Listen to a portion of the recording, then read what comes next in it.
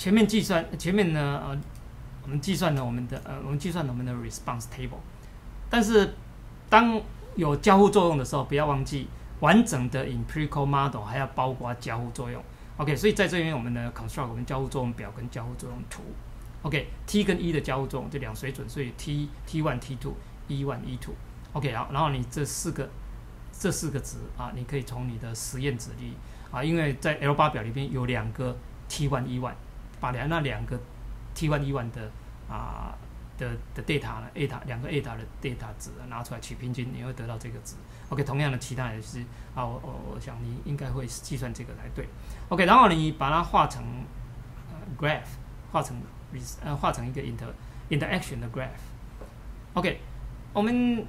呃事实上可以稍微计算一下，来印证一下我们刚刚那个定义。OK，啊把我们分跑分头把这四个的四个值把它写在这个地方，负零点五负零点五六零在这里啊，然后一点负一点。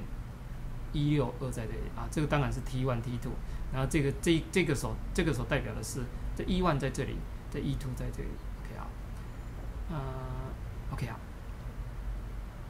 ，OK，那么我们来来看看这个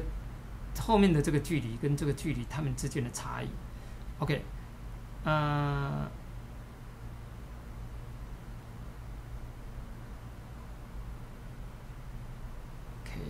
啊，这好像是有一些的差异，应该是这里应该是应该是，因为这这这个是一 one，这是一 two 哈，这是一 one，这是一 two，OK，那应该是一 two 减一万这个才对哦，所以应该写应该写成负零点四零零减掉零点一一二这样才对，OK，这样才对，这这这个才这样才对，OK。那跟这个刚好是差一个负号，OK 啊，同样的，这后面这个部分，OK，那么这个是一万这是一 two，OK，所以应该是啊，呃，负一点一六二，然后呢减掉负的，所以加上零点五六零，OK，应该是这样子，OK，OK，然后呢两个相减，OK，